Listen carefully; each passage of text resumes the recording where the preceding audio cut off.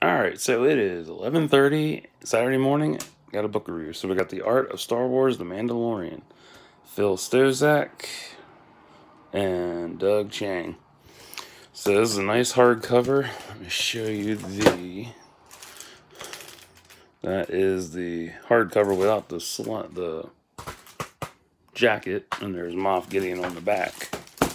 So yeah, watch this on your TV.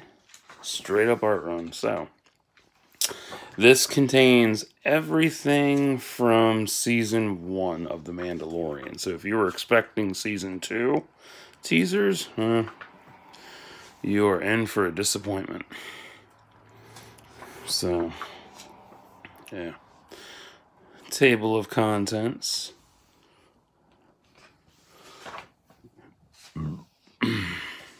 But let's switch to the back really quick so I can show you. Alright, we go. That's everyone involved in the projects and whatnot. So, there you go. So, back to the front.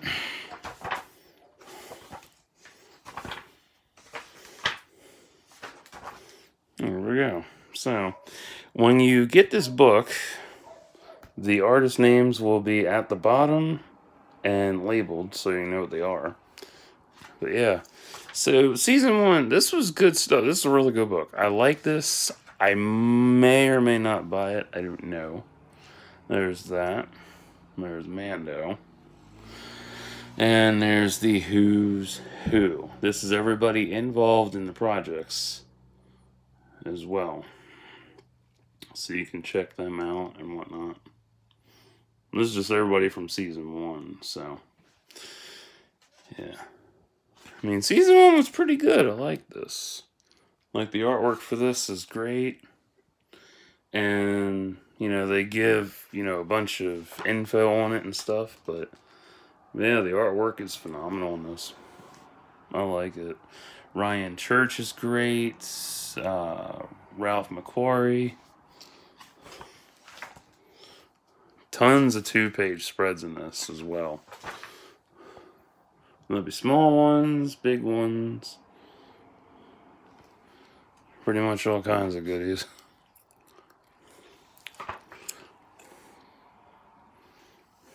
And that's homage to uh, Clint Eastwood. I forget which movie though. But yeah, they break down, you know, the different types and styles they were going with in bringing Din to life. And then the final product of what he ended up being. Which is really nice.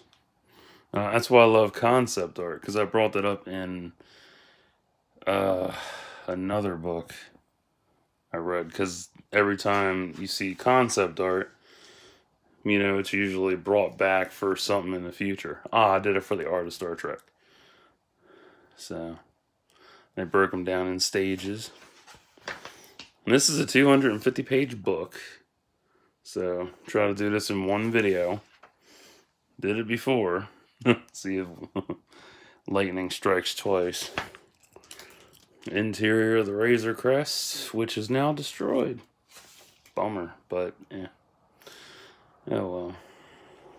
So, yeah, Ryan Church made this ship, and you know, from the engines, you can tell it's from Trek because he worked on Trek as well. Another two page, and the aliens and stuff. I do love how they make molds and stuff. That's the best part about a lot of this is that you know, you have Dave Filoni's work that goes into this. You have Church. You have Alzmann. Just so many memorable artists and popular ones that have been with various franchises over the years and have contributed their work to some amazing projects. so, yeah, I love it.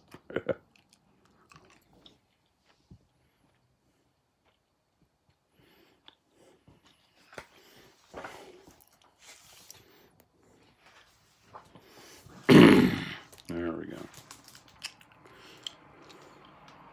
And everything's labeled, which is really nice and helpful. That's a huge deal. Because I know most art books tend to not do that like they should, but some do. Or most used to not do that, but now they do.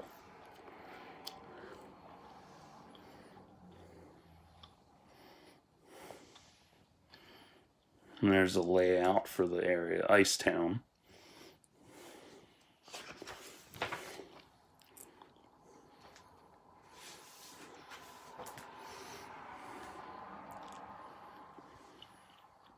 I like the Weequay, they're awesome.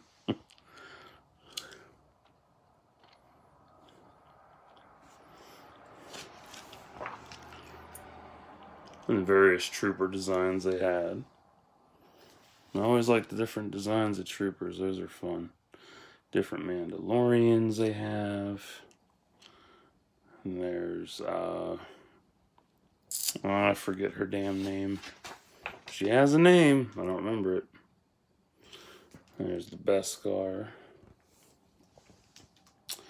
And different versions of the armor before they've settled on this one.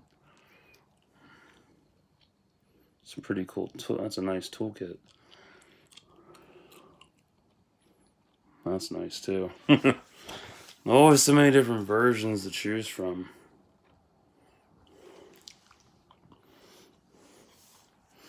But what draws me to this book? Well, one, I like being able to get the books new from my library, so I was surprised when this came in right away. Because usually it's about a good, meh, month wait on getting new stuff because it just came out. So, yeah.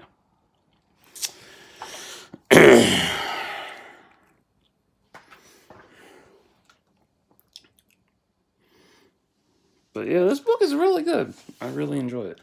Uh, if you don't like Star Wars or you don't like The Mandalorian, I understand that. I always say that because not everybody gets sucked into the amazement and wonder of Star Wars. Some people just see it as space wizards and all that bullshit. I get that. I get tired of Star Wars sometimes because people just eh, niggle and moan and cry too much. Chewie and his blurred and they're dead. They're dead and gone. So, and plus, uh, like I said many times, I do these book reviews because most people, you know, they'll give you like the once over of the book, and the video will be exactly eight minutes long where I'm at right now. And then they'll be like, yeah, you should go buy this book because it's got so many great sketches and shit. And they'll show you a couple screenshots, twirl the book around, all that crap.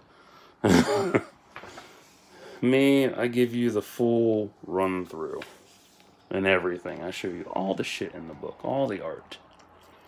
Because it makes sense. You know, would you rather, you know, just see a short ass vid where they don't give you anything, or would you like the full in depth look where you can make up your mind for yourself? That would have been a smarter choice. But, eh. oh well. I remember when that came out. That was like I forget where the hell I saw. I think it was on Behance or Behance. I forget one of them. Dead baby Yoda. He's gonna die. Yep, that boy gonna die. Dead baby Grogu.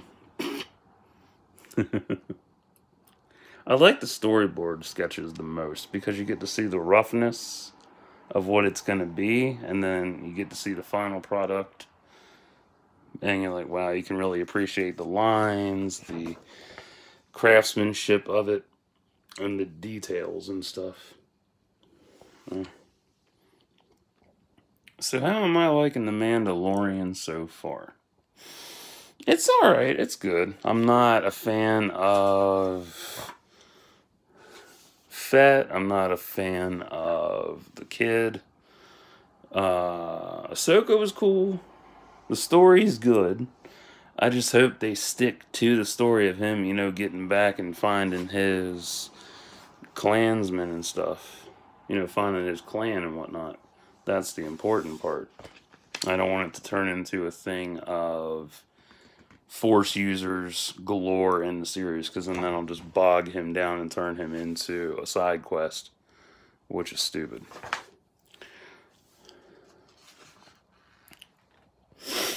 Uh, so that's how I feel. Oh shit, this is that. Yeah, that was in um fuck, what book was that in? That was in one of the other books. I think that was in um fuck, what was that in? Oh, the characters guide, the new essential guide to characters for Ver- Verger. Yeah. Fuck yeah. Awesome. That's cool. Sandcrawler. Uh, what's the one thing I really like the most about this artwork? Definitely the oils, the oil paintings they do, and the uh, hand drawn work. Yeah, the oil painting effects, the digital effects, and you know, just the rough cell shading of it. That's beautiful. This is cell shading right here. So. but yeah. Like the Mandalorian's good. It's just I hope they, you know, veer back on track. Cause everybody I've seen so many fucking twatter posts saying like, oh, Thrawn's gonna be there and Luke's gonna pick the baby up and I'm like, get the fuck out of here. Luke's gonna make an appearance. Like, no, he's not. Because even if he did, it would be so stupid. Why? Because if he picks the kid up, then we already know where the hell the kid went. He died during the Temple Massacre. so, purpose defeated.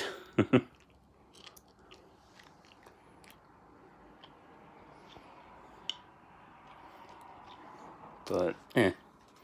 I digress. It's really bitchin' art. All Off world Jawas, they crack me up. The heck, I hope we actually get more mythos with him. Because there's so much to love about this. And all the different armor types they have and such. You know, there's there's plenty of room for uh, future Mandalorians to show up. I like the Heavy Mando. He was a lot of fun. I still haven't gotten the Black Series figure of him yet because I'm saving money. But this is what I really like. This is nice because they give you the whole layout of the area in terms of scale. And they show you how to get through Nevarro and whatnot. So, you know, if you want to write a story about Nevarro, that will help you out. So, that way you know what you're looking at. Or maybe you even live in an area that's shaped like that, so that's even cooler. oh,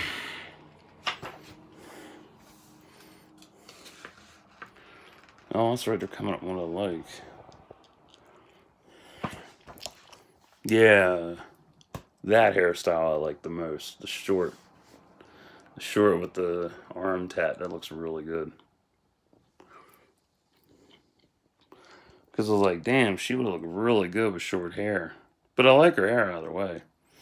And I know people have issues with uh, Gina, but people need to grow up, honestly. Like, if you can't separate actor from role, then you have issue.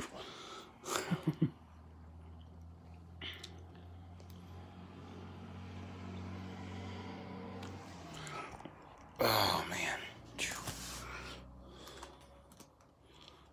Krill Farms. Nice. Yeah, I wholeheartedly enjoy this book. Like, I love the artists. That's what I'm in it for. You know, look at the lighting for that. You know, and then the basic layout for that. It's it's so pretty. So many good compositions in this book. And you can't go wrong with it. Show you the trees. There you go. The watercoloring, just the basic, all the different styles that come together and make something amazing. That's what I love. Man, look at them feet. They're so cool. It's little details that stick out to me that I enjoy. Good to see the Klatooinians. That made me happy. Because I had no idea what they looked like. Because I remember when I read, listened to, um, what the fuck was that? It was Fate of the Jedi. I don't remember which book it was, but I do remember them bringing up the Klatooinians, and I didn't know what they looked like. Because by that point, we didn't have any pictures of them at the time. But now we got pictures, so I know what they look like. Should I have fire? That looks really good.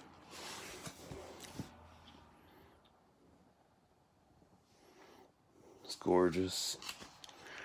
storyboard for it. Mm.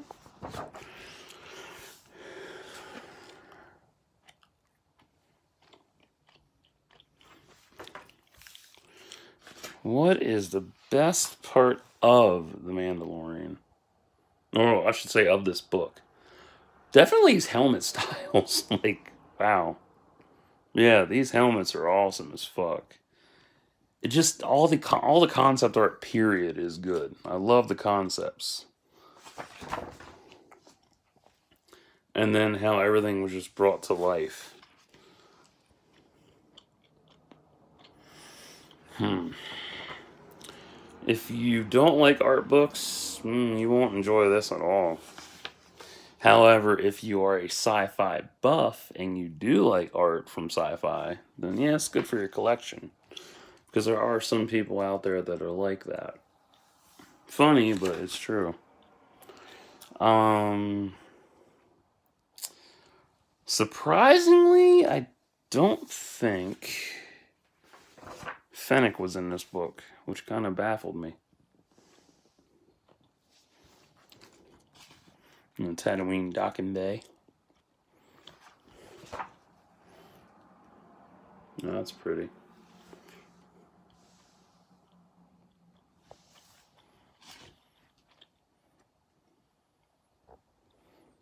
So,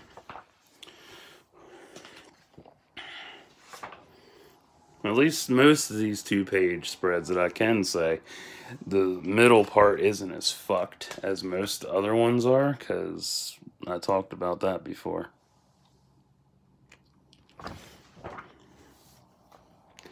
Oh, there's Fennec. My bad. I was like, I couldn't remember she was in this or not, but yeah, she is. I really do like how they really expanded on this. That's the best part. I mean, they give you layouts for all locations. That's one. They give you amazing detail work on everybody in here.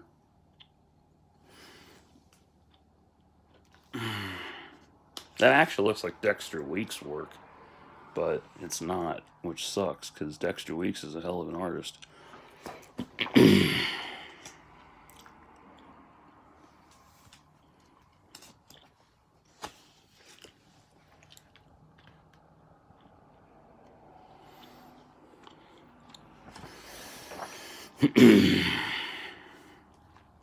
um, well, as Ryan Church. Yeah. Plus, a lot of these, if you find them digitally, they make great wallpapers easily.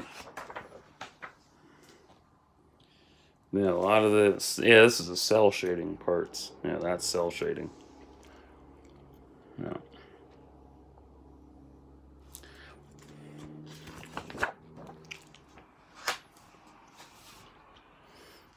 see how far I got. There we go. That's good.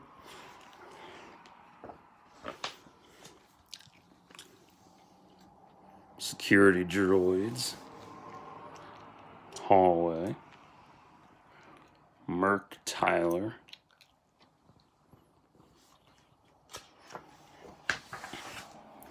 And we're nearing the end. Looks like it's going to be done one video. Nice. Happy about that. But yeah. I don't think they, yeah. Previous Star Wars art books never went into full detail about this kind of shit. Nah, they didn't. There's my boy. Giancarlo Esposito. I love him. You really want to get to know him, watch him in his older films and also Homicide Life on the Street. Damn good show. Yeah, definitely.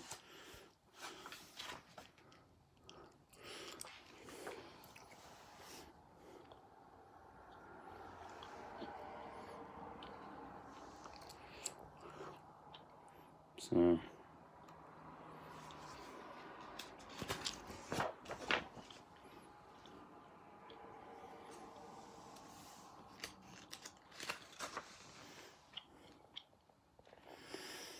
Hmm.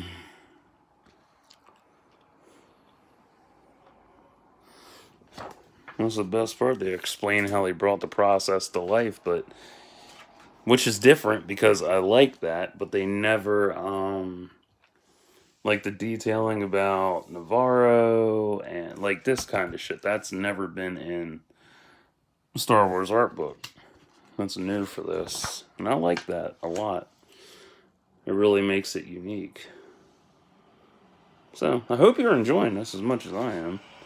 Because, shit, I like the different styles in this. Niktos. Maybe we'll see more of them in the future. I don't know.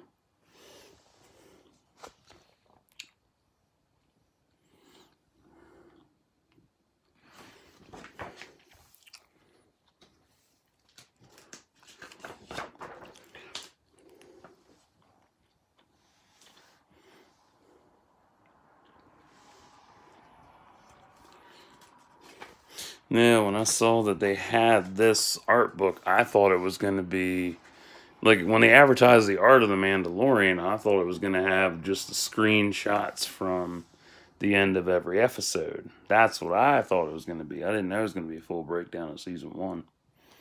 Still, blessing in disguise.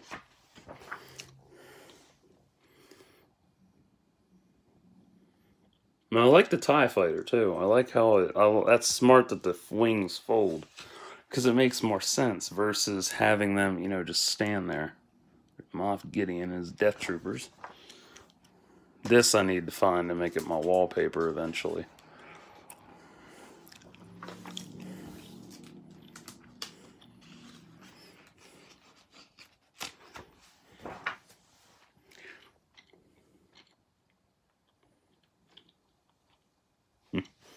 Best episode in season one, the kid getting punched. That felt so good.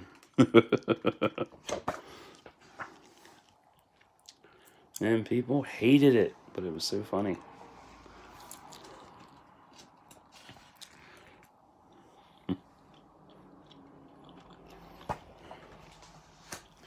That's beautiful. I'd like to see this done in charcoal honestly. Like a charcoal rubbing, that would be cool. But, eh. Let's see.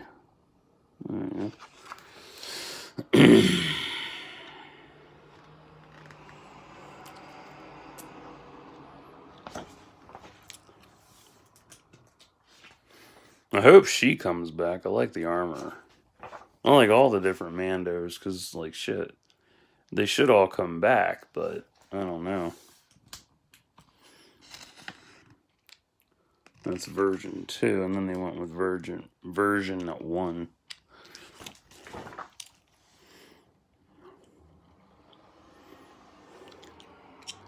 It's called a keel boat.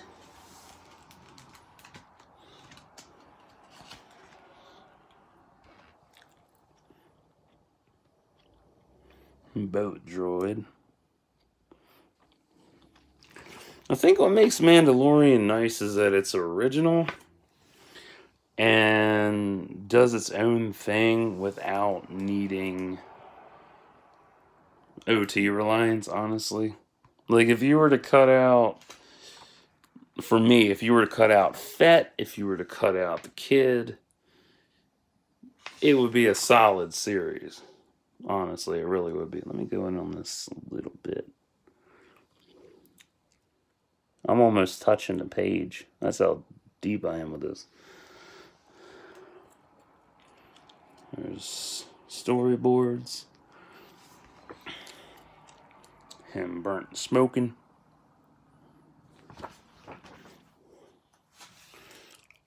Two page attack. Oh, we're done. Oh, cool. And then there's the index of everything. And then the acknowledgements and then two page fight. Damage.